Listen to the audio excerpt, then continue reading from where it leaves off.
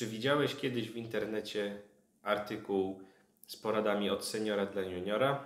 Jest tego cała masa. Dzisiaj opowiem Ci o moich poradach, które wydaje mi się, że nie są takie do końca oczywiste i raczej mało z nich znajdziesz w tego typu artykułach. Zapraszam.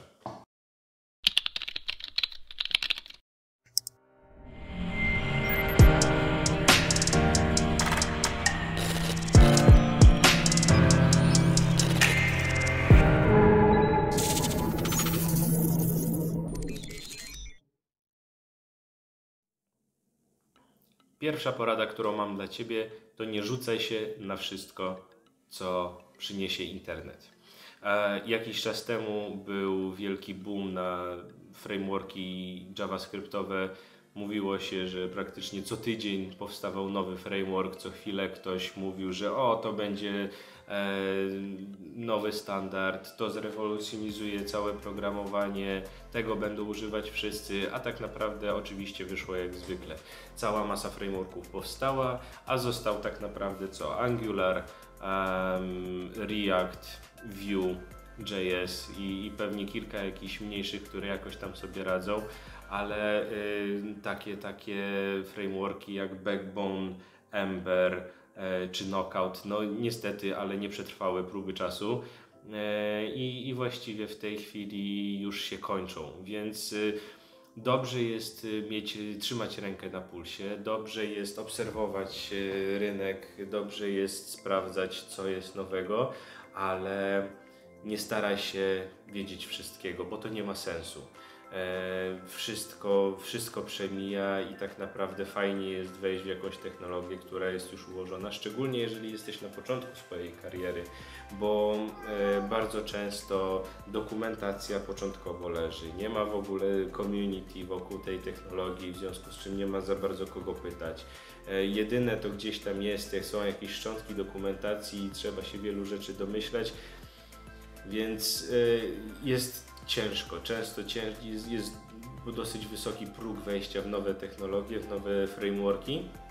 Lepiej skupić się na tym, co już jest pewnym standardem e, na świecie, a nauczyć się wyspecjalizować się w jednej technologii, poznać podstawy.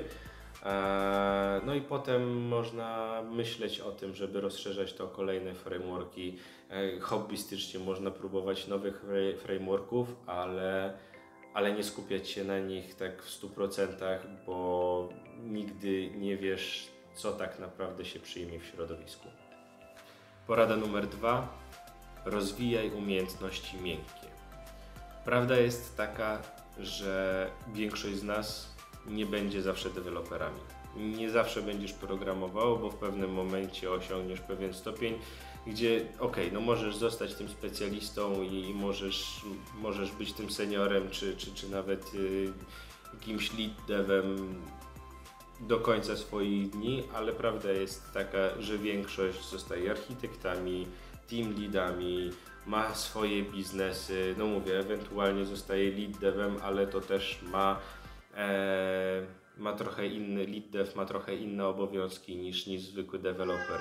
W związku z czym umiejętności miękkie, sposób komunikowania się, a to jak rozmawiasz z biznesem, to będzie bardzo ważna część Twojej pracy w przyszłości, więc y, dobrze jest tego nie zaniedbywać, bo w pewnym momencie obudzisz się, że już masz naprawdę olbrzymie umiejętności, a wstydzisz się pójść na spotkanie albo strasznie cię to męczy, gdzie w pewnym, w, pewnym, w pewnym momencie to może być Twoja codzienność. Będziesz chodził na spotkania, będziesz e, reprezentował firmę w ten czy inny sposób, na zewnątrz czy wewnątrz, prowadził szkolenia, jest cała masa rzeczy, więc dobrze jest mieć faktycznie e, rozwinięte te, te, te umiejętności miękkie, e, to żebyś wiedział.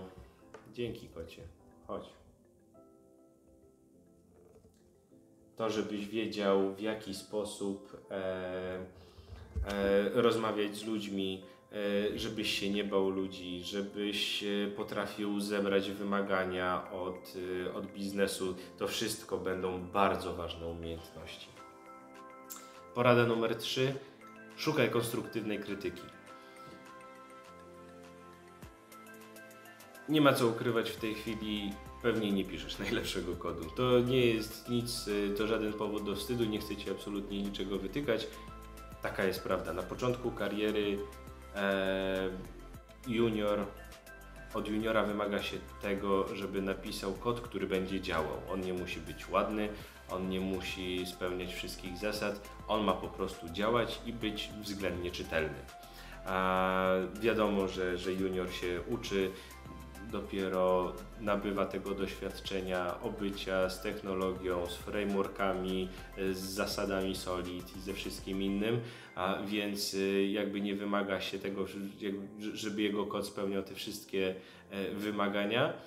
E, natomiast firmy, w których miałem code review, a, i, i, i jakiś senior na początku mojej kariery przeglądał mój kod, to były firmy, w których najwięcej i najszybciej się e, nauczyłem naprawdę bardzo dużo, więc y, szukaj firm, w których jest y, wprowadzone code review, w którym mm, seniorzy często też y, w pewien sposób mentorują e, juniorów, tak żeby wskazać im drogę, czego powinni się douczyć, co jest faktycznie nie do końca porządku w ich chodzie um, i nie zamykaj się na taką krytykę, bo wiele osób jest przestraszonych, że ktoś skrytykuje to, co napisali, a prawda jest taka, że, że i seniorzy nieraz y, potrafią napisać taki kod, którego sami mają dosyć po tygodniu.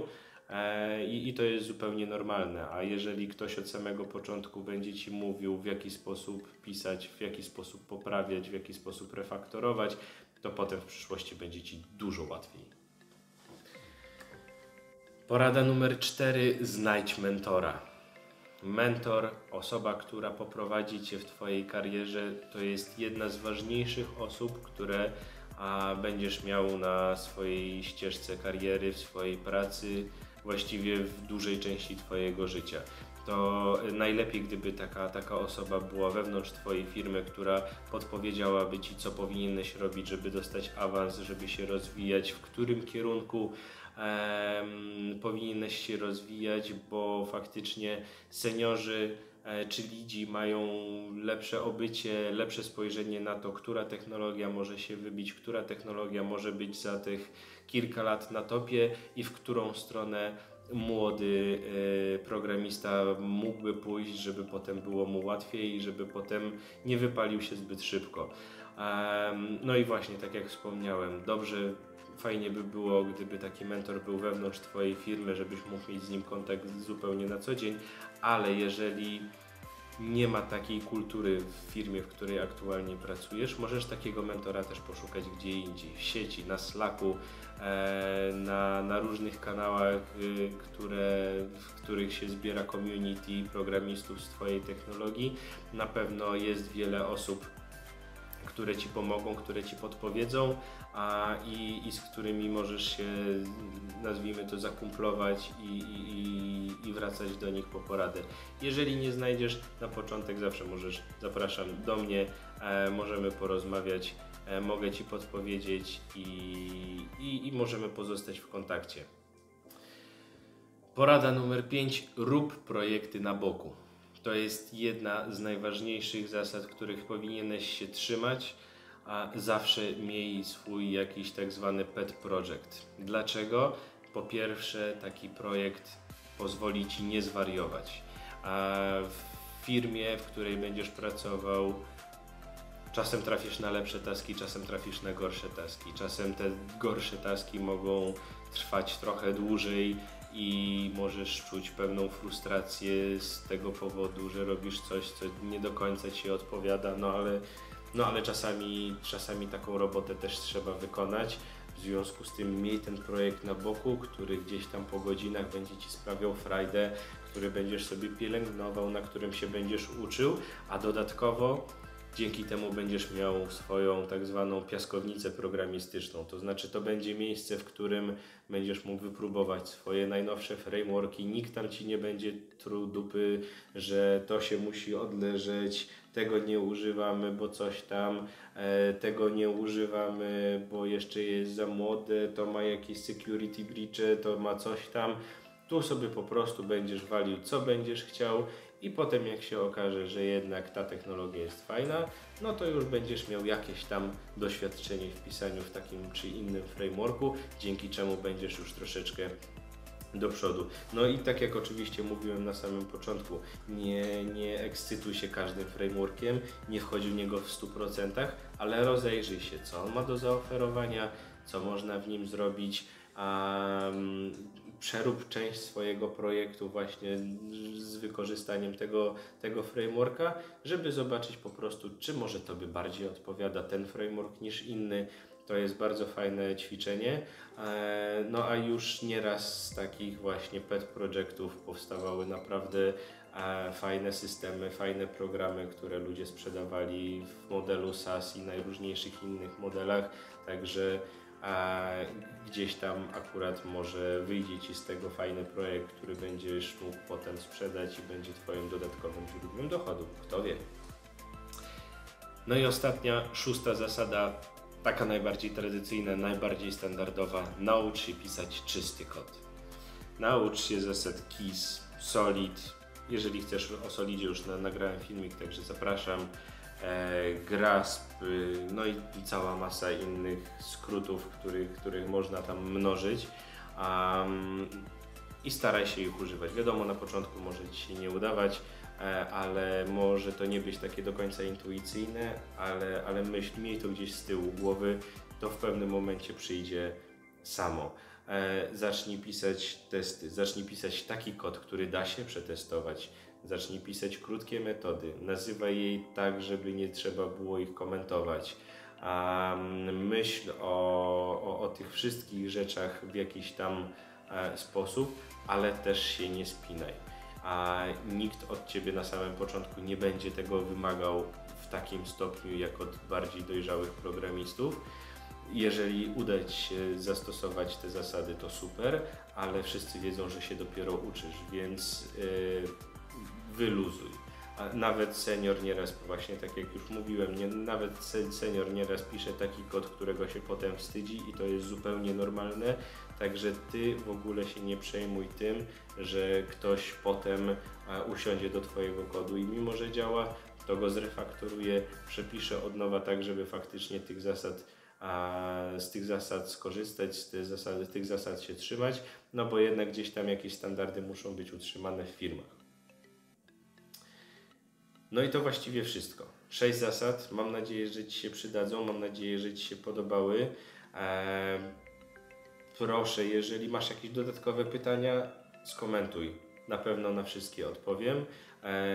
Zapraszam do kontaktu ze sobą. Tak jak mówię, jeżeli masz e, jakieś wątpliwości, jeżeli chcesz jakieś porady dotyczącej swojej kariery, ścieżki, w którą stronę chciałbyś pójść, a czy co powinieneś robić, żeby zostać lepszym programistą, napisz do mnie. Możesz do mnie napisać na Facebooku, na LinkedInie, na e, Twitterze, Instagramie, gdzie tylko masz ochotę. Najlepiej też tutaj po prostu na, w komentarzu na, na, na YouTubie, wtedy potem możemy gdzieś tam przejść na, na priwa, ale chciałbym mieć z Wami kontakt, bo wiem, że e, wiem, że mnie oglądacie, wiem, że, że, że gdzieś tam